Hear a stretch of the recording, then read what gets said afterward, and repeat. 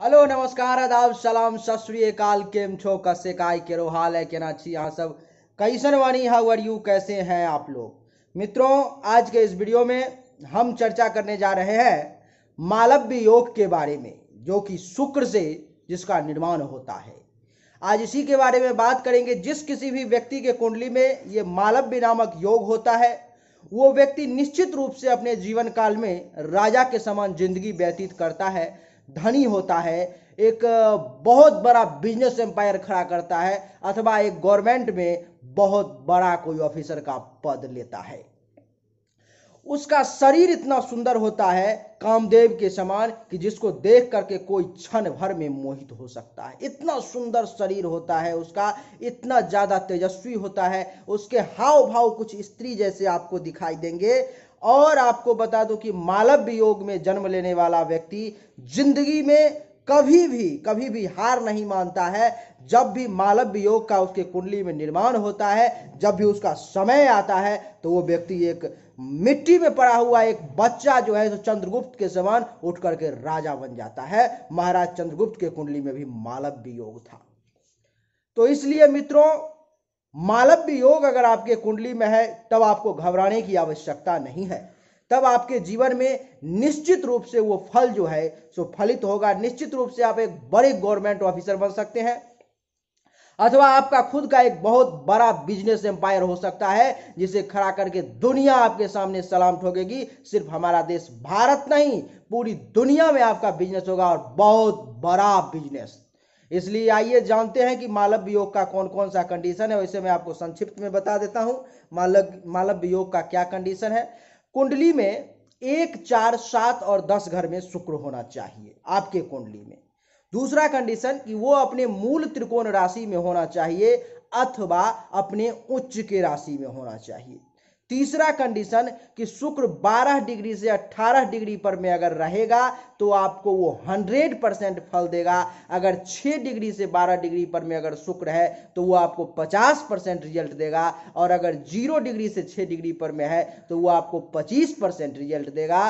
और 18 डिग्री से 24 डिग्री पर में है तो रिज़ल्ट नहीं के बराबर देगा, और 24 डिग्री से 30 डिग्री पर में है तो भी रिज़ल्ट कुछ नहीं देगा। ज़ीरो। तो ये मालव्य योग का कंडीशन है। उसमें एक और कंडीशन है कि शुक्र के साथ आपके कुंडली में, केंद्र में सूर्य अथवा चंद्रमा नहीं होना चाहिए। नहीं तो आप एक राजा, नहीं, आप एक बहुत बड़े ऑफिसर नहीं, आप एक बहुत बड़े बिजनेसमैन नहीं बन पाएँगे। एक छोटे से कोई धनवान बन करके आप रह जाएँगे। आपका जितना बड़ा मैं देख रहा हूँ, भविष्य उतना बड़ा आप नहीं हो पाएँगे। तो आइए प्रमाण के साथ आपको मैं थोड़ा सा दिखा देता हूँ ताकि आप देख करके उसको समझ जाएँ। अब आपके सामने स्क्रीन पर में आपको दिखाई दे रहा होगा, ऊपर में लिखा हुआ है सबसे ऊपर में मालव्य योग उसके नीचे में लिखा हुआ है जन्म कुंडली, या हस्तरेखा दिखाने के लिए संपर्क करें, संपर्क सूत्र seven zero six two seven five seven double nine six. उसके नीचे में आपको एक कुंडली बना हुआ दिखाई दे रहा होगा, इसको मित्रों कुंडली कहते हैं। और इसमें जो पहला कंडीशन है, वो कि शुक्र आपके कुंडली के केंद्र भाव में होना चाहिए। केंद्र भाव का मतलब है कि ये घर ये घर ये घर और ये घर। ये जो कुंडली है मित्रों, वो तुला लग्न की कुंडली है। आपकी किसी भी लग्न की कुंडली हो, कोई फ़र्क नहीं पड़ता है। लेकिन शुक्र जो है, सो इस चार में से किसी घर में होना चाहिए, पहला कंडीशन दूसरा कंडीशन यह है कि शुक्र या तो तुला राशि में होना चाहिए, जहाँ पर में इस चारों घर में से सात लिखा हुआ हो, वहाँ पर में शुक्र होना चाहिए, अथवा जहाँ पर में इन चारों घर में से बारह लिखा हो, वहाँ पर में होना चाहिए। यानी कि या तो अपने मूल त्रिकोण राशि में शुक्र होना चाहिए, अथवा अपने उच्च के राशि में शुक्र होना चाहिए। उच्च का राशि शुक्र का मीन होता है। तो अपने उच्च के राशि में शुक्र हो अथवा अपनी मूल त्रिकोण राशि यानी कि तुला राशि में शुक्र हो। अगर ये दूसरा कंडीशन भी आपका कुंडली फॉलो कर लेता है, आपका कुंडली फुलफिल कर लेता है तो तीसरा कंडीशन ये है कि शुक्र का डिग्री 12 डिग्री से 18 डिग्री के बीच में होना चाहिए, तभी जाकर के आपको जो है उसका पूर्ण फल की प्राप्ति होगी। तीसरा कंडीशन भी अगर आपका फॉलो कर लेता है तो चौथा कंडीशन ये है कि शुक्र के साथ सूर्य अथवा चंद्रमा नहीं होना चाहिए इस चारों में से किसी घर में, नहीं तो वो आपको 100 परसेंट फल नहीं देगा, आपको एक सामान्य सा धनिक बना करके छोड़ देगा। वैसे आपके सामने ये कंडीशन जो लिखा हुआ है, मैं आपको यहाँ पर प्रस्तुत कर देता हूँ ताकि आप इसे खुद से भी पढ़ सकें। उम्मीद करता हूँ कि आपने पढ़ लिया होगा। अब अब आपको मैं प्रमाण देता हूँ कि जिसके कुंडली में मालव्य योग है, वो व्यक्ति अपने जीवन में क्या क्या प्राप्त कर सकता है? ये देखिए, ये मालव्य योग आपको दिखा हुआ, लिखा हुआ दिखाई दे रहा होगा मालव्य योग फल। दिया गया है, प्रमाण है, जातक पारिजात का पेज नंबर 331 श्लोक नंबर चौसठ, प्रमाण के साथ में दे रहा हूँ। प्रमाण है के स्त्री चेष्टो ललिताङ्गसन्धिनयनः सौन्दर्यशाली गुणी तेजस्वी सुतदारवाहन धनी शास्त्रार्थवितपण्डितः उत्साह प्रभुशक्ति उत्साह प्रभुशक्तिमन्त्र चतुरस्य त्यागी पर स्त्री रतः सत्या सत्याब्द मुपैत सप्त सहित मालव्य योगोद भव। प्रमाण है ये। इसका अर्थ क्या हुआ, वो भी आपको मैं दिखा देता हूँ। देखिए क्या लिखा गया मालव्य योग में उत्पन्न व्यक्ति स्त्री के समान चेष्टा वाला, यानी कि स्त्री के समान हाव वाला। स्त्री के समान ही सुंदर शरीर और नेत्रों वाला सुंदर एवं गुणवान होता है। वह तेजस्वी, स्त्री पुत्र और वाहनादि से युक्त धनिक, शास्त्रों के मर्म को समझने वाला विद्वान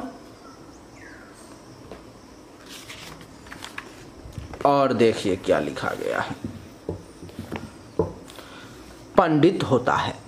वह उत्साही शक्ति संपन्न मंत्रणा में कुशल, पर स्त्री में निरत और उदार होता है, जिसकी आयु सतहत्तर वर्ष की होती है।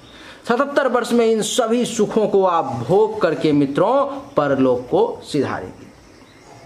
हमने इसमें एक विशेष कंडीशन लगाया है, मालव्य योग को फलित होने में। वो है कि आपके कुंडली में वो चंद्रमा अथवा सूर्य के साथ नहीं होना चाहिए। आपको अथवा आप में से जो भी ज्योतिष के विद्वान होंगे, वो इस बात को खंडित कर देंगे कि ऐसा नहीं है, ये सिद्धांत नहीं है। ऐसा कुछ भी नहीं है। लेकिन मैं आपको उसका प्रमाण देता हूँ ताकि आपके मन में भी ये संशय ना रहे और आप भी आगे से इस प्रमाण को माने, इस बात को माने। प्रमाण है मान सागरी का।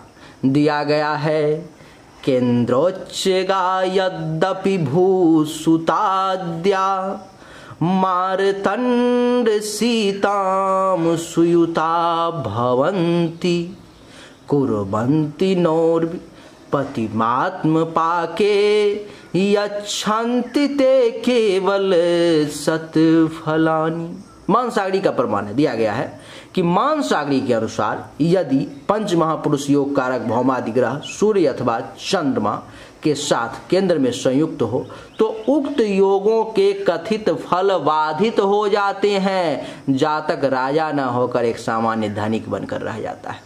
प्रमाण है। तो मित्रों, अब आप समझ चुके होंगे, मैं आपका ज़्यादा समय नहीं लूँगा और इतने पर मैं ही अपनी वाणी को विराम देता हूँ और उम्मीद करता हूँ कि आप समझ चुके होंगे, सब कुछ आपको समझ में आ गया होगा। अगर समझ में आ गया तो आप इस वीडियो को लाइक करें, शेयर करें, चैनल को सब्सक्राइब करके इसके बेल आइकन के बटन को ज़रूर दबाएँ और ज़्यादा से ज़्यादा, कम से कम दस ग्रुप में तो व्हाट्सएप में शेयर करो यार। कम से कम दस लोगों को तो भेजो आप लोग, सिर्फ़ देख करके छोड़ देते हो। ये उचित नहीं है अपने धर्म के, अपने ज्ञान के प्रति। झुकाव होना चाहिए, सिर्फ़ मेरा ही ये ठीका नहीं है कि मैं आपको ले लेकर के बताऊँ। आपका भी ये ज़िम्मेदारी है कि आप इसको शेयर करें कम से कम।